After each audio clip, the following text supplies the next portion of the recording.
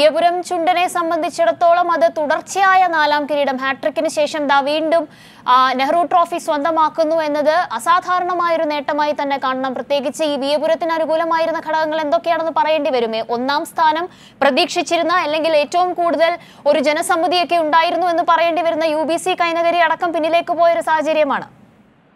രാജ നമുക്ക് ഇത് സംബന്ധിച്ച് പറയുമ്പോൾ കുട്ടനാട്ടിൽ ചുണ്ടൻ വള്ളങ്ങളുടെ പേരുകളാണ് വള്ളംകളി പ്രേമികൾ എന്തായാലും കേട്ടിരിക്കുന്നത്. പക്ഷേ വള്ളം ക്ലബ്ബുകളുടെ പേരുകളാണ് ഇതിന് അടിസ്ഥാനമായിട്ടുള്ളത്. അതിന് ഏറ്റവും പ്രധാനമായിട്ട് നമുക്ക് എടുത്തു പറയേണ്ടത് കഴിഞ്ഞ തവണ കാറ്റിൽ തക്കിയതിൽ എന്ന വള്ളത്തിലാണ് P B C Kainakary Pallathuruthy boat club വിജയിച്ചത്. ഇപ്പോൾ വിയപുരം ചുണ്ടനിൽ അവർ വിജയിച്ചു. അതിന് അതിന് മുൻപായിട്ട് രണ്ട് കാരിച്ചാൽ ചുണ്ടനിൽ വിജയിച്ചു. ഇങ്ങനെ ഓരോ ചുണ്ടൻ വള്ളങ്ങളും എടുത്തെടുത്തെടുത്തെടുത്ത് അവർ ഓരോ ചുണ്ടനുകളിലും നടുഭാഗത്തിൽ വിജയിച്ചു.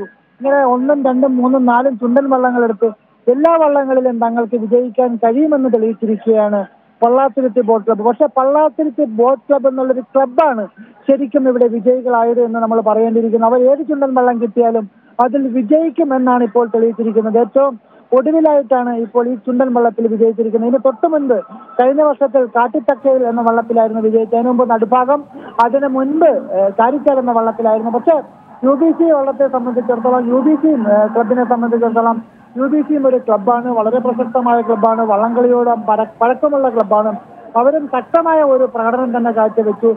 ട്രാക്കിൽ നേരത്തെ അവർ നാല് പതിനാറിനൊക്കെ തന്നെ ഫിനിഷ് ചെയ്തിരുന്നു. റിഹേഴ്സൽ മത്സരങ്ങൾ നടക്കുമ്പോൾ അല്ലെ പരിശീലന മത്സരങ്ങൾ നടക്കുമ്പോൾ പക്ഷെ ഇന്ന് എന്ത് സംഭവിച്ചു എന്ന് നമുക്ക് പറയാൻ വ്യക്തമല്ല. മത്സരമാണ് മത്സരത്തിൽ ചെറിയ ഒരു പിഴവ് വന്നാൽ പോലും അത് മറ്റു ടീമിന്റെ വിജയത്തിന് കാരണമാകും.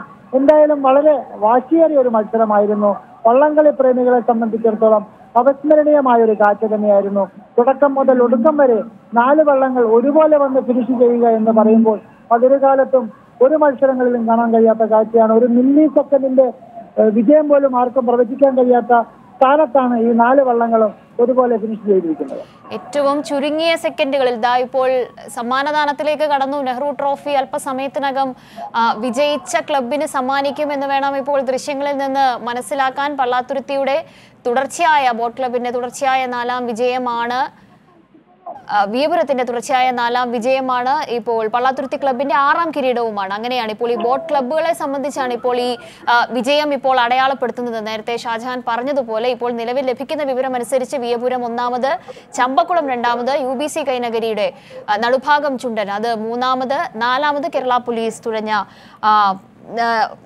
മഹാദേവിക്കാട് കാട്ടിൽ തെക്കേതിൽ. ഇങ്ങനെയാണ് ഇപ്പോൾ ട്രാക്കിൽ വിജയകിരീടം ചൂടിയവരുടെ ലിസ്റ്റ്. ഒന്ന് രണ്ട് മൂന്ന് നാല് ട്രാക്കുകളിൽ എങ്ങനെ വന്നു എന്നുള്ളതിന്റെ ഇപ്പോൾ ലഭിക്കുന്ന വിവരം